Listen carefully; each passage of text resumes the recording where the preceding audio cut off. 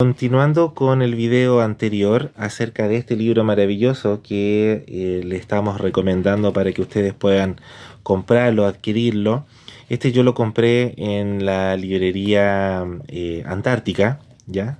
También está la Feria Chilena del Libro, donde ustedes pueden encontrar este material. Ahora, esto fue hace muchos años atrás, pero si ustedes son unos buenos investigadores, ¿cierto? Van a poder encontrar este material del rabí Aaron Schlesinger. ¿En qué consiste este libro?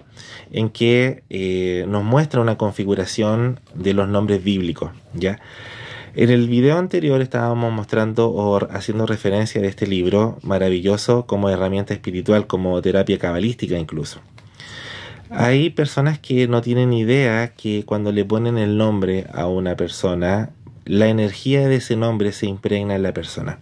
Yo en este momento no voy a juzgar el nombre que te pusieron tus padres, ¿cierto? Porque a veces suena bonito, suena elegante, hay nombres que suenan muy elegantes, pero que tienen significado terriblemente contrario a la perspectiva o a la cualidad que la persona viene con ese nombre.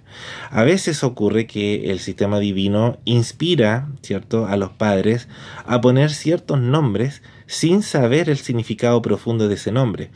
A veces ocurre que sí, le ayuntaron, como decimos acá en Chile. Eso significa que a veces la persona necesitaba tener ese nombre.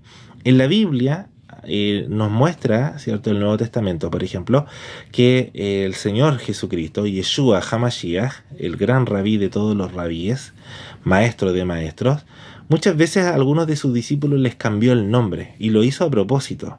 Tú te llamas tanto, pero ahora te vas a llamar de esta manera. ¿Qué pasa cuando cambia el nombre? Cambia una configuración celestial, cambia una configuración astral, porque las letras hebreas de los nombres contienen una energía que activan son como compuertas o palancas, como tú quieras definirlo, y esa energía es capturada y eh, es recibida para ser impregnada en el alma. Es un tema de repente muy complejo, pero cuando uno lo estudia apasionadamente, se da cuenta que cada palabra tiene una energía que yo puedo incluso hasta maldecir o puedo bendecir. Hay personas que lamentablemente se sienten malditas, se sienten como que todo les va mal porque tienen un nombre que es característico de esa cualidad. Y a lo mejor la persona no venía con esa cualidad, pero sus padres le pusieron esa cualidad y a veces desgraciadamente necesitan tener un cambio de nombre. Por último, dice la mística, si tú tienes un registro, tú tienes la opción de que quieran llamarte o como tú quieras llamarte. ¿Sí? Así que entérate más de estos videos de Instagram y de nuestro canal de YouTube.